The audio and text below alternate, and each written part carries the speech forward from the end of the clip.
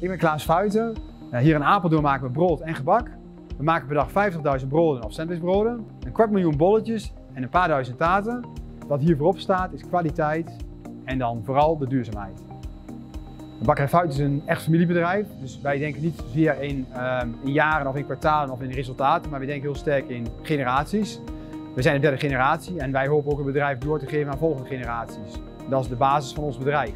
Ons doel was in 2011 om de carbon footprint met 30% te verlagen in dit bedrijf. Dat hadden we uiteindelijk ook binnen vijf jaar bereikt om die carbon footprint 30% te verlagen.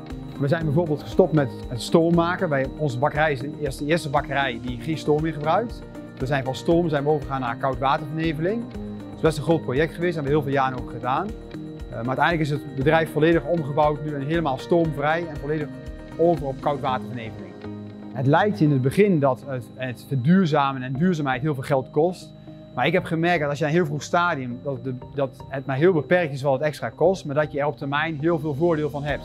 Uh, mijn tip voor ondernemers is, kijk vooral rond, verbreed je horizon en kijk welke technieken en andere branches ook in jouw bedrijf toe te passen zijn. Ja, en dan is de vraag natuurlijk, hoe krijg je al je medewerkers daarin mee? Uiteindelijk krijg je dat alleen maar door de juiste cultuur in je bedrijf voor te leven. Dus het enige wat daarin werkt is het goede voorbeeld geven. Dus, dus laat zelf ook zien dat je bezig bent met duurzaamheid, dat je het ook in je privé doet. Als ik dat zelf doe met mijn broertje, dan zie je dat mensen dat vanzelf over gaan nemen.